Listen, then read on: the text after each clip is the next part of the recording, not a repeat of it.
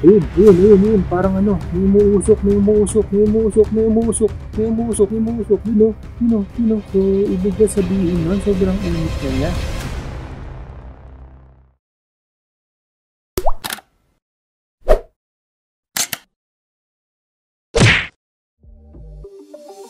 Yo, yo, yo! Kamusta? Nagbabalik tayo ngayon.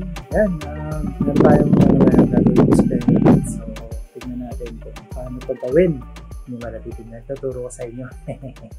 so, ito, yan, binili ako sa case na, ano ba tawag dito? Soldering iron. Yan, 60 watts. Uh, Intel, Intel yan. Baka naman. And then meron tayo ditong uh, cup, uh, ano to, coffee cup. Nilagyan natin yan ng ano ng butas sa ilalim. Um, gagawin natin dito sa coffee cup natin, lalagyan natin ng ano na tanim ng lupa. Yan, coffee cup. Okay, so ito na yung ano natin, yung soldering iron natin. Yan, 60 watts yan.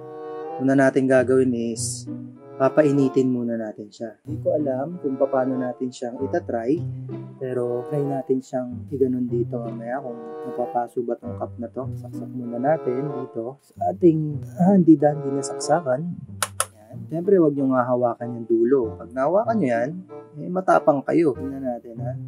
Hindi ko alam pa paano ito iinit eh. Paano ba ito iinit? Yan. 60 watts siya. 60, 60 watts. 220 to 240 volts.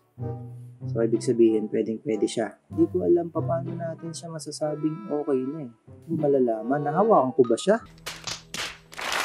Paano ko malalaman na siya'y mainit na? Labo naman ito. Ayun, ayun, ayun, ayun. Parang ano, may umuusok, may umuusok, may umuusok, may umuusok, may umuusok, may umuusok. Yun o, yun o. So, ibig ko sabihin nun, sobrang init na niya. Paano ko malalaman kung mainit na siya? Wait lang, wait lang. Hindi naman to magliliyab, di ba? Yun, may umiinit na siya. Umuusok siyang ganon. Alo, baho. baho ng amoy. ah, sige, tingnan natin. Tatry natin yan. ah. Patayin muna natin. Yeah, patayin muna natin siya. So, mainit na siya. Try na natin. Nagtry ako dalawang butas. So, nabutas naman siya. So, butasan pa natin siya. Mga apat siguro. Yan. So, mga apat na butas. Ayan, tuloy-tuloy lang natin to. Huwag nyo na ididikit yung kamay nyo dun sa soldering iron dahil napakainit niyan. Okay. So, dire-diretso lang natin to. Ang ano dito, pwedeng pako. Painitin nyo sa, sa kalan. Pwede na yun, pako. Ito, mura lang naman tong soldering iron eh, nabili natin sa, ano, sa suking tindahan. Pag mainit naman na siya, yung soldering iron nyo, pwede nyo nang tanggalin sa saksakan. Dire-diretso lang natin ha. Butasin natin lahat. Bali, 26 pieces ng binubutasan natin. A few moments later.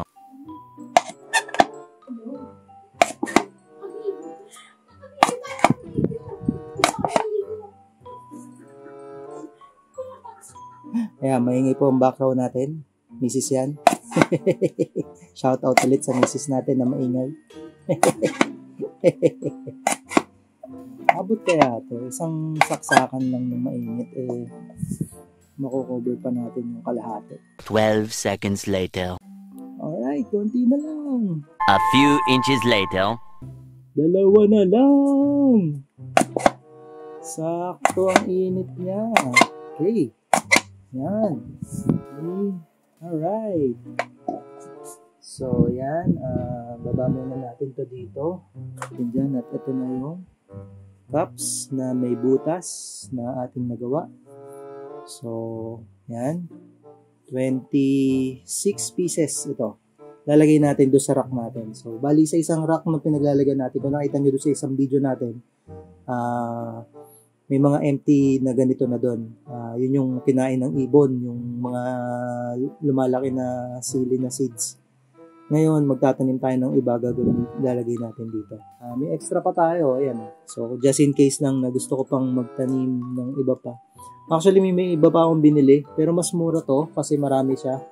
And tingin ko, marireuse siya ng marireuse pa ng mga, hindi mo na mga limang beses siguro, feeling ko lang. Matibay-tibay naman yung coffee cup. So, coffee cup. So, pakita natin ha. Ilalagay natin doon sa ano natin. sa ating mini greenhouse. And so, nailagay na natin yung mga cups doon. Kanina, so may may natira pa tayo. Yung kanina, ito yung binutas natin kanina. Tapos ito yung nga dati. Actually, malaki pala yung na naibili ko. Maliliit pa itong mga coffee cups na to na nahingi ko dati sa, sa auntie ko. Tapos, ito yung nabili natin, malaki. Pero okay na yan. Para mas mas mahaba-haba yung pwede niyang maging buhay. I mean, tumagal siya ng konti doon. Na siya. Ngayon.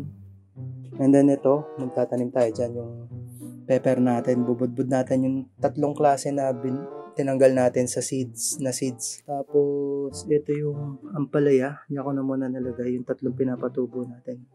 Tapos, ito yung, ko alam kung ano ba yung tumutubo na yun. Tutubang bunga yan ng seeds galing sa seeds. So, yun ang pala natin. Yung isang video natin, maglalagay tayo ng seeds dyan.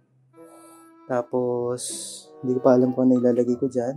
And then, doon, yung palaya, magba, lalagay na tayo ng kanyang. So, ayusin na natin yung pagbabalagan niya para gumapang na siya doon. Kasi meron na siyang mahabang gagapangan. Yung mahaba na yun. So, ito, yung ano natin, lumalaki na. Ating parsley.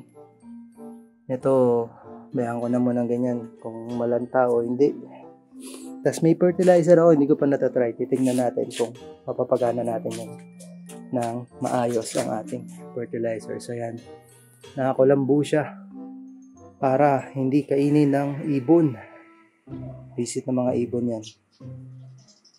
Okay guys, yan ha. Panoorin nyo yung next video natin. Uh, next video natin magtatanim naman tayo ulit. Uh, papakita natin doon yung na natin kung sino yung next video natin. Pero abangan nyo guys ha, huwag nyo kalimutan na mag-like, share, at mag-subscribe dito sa aking channel. So ulitin na, yo yo yo!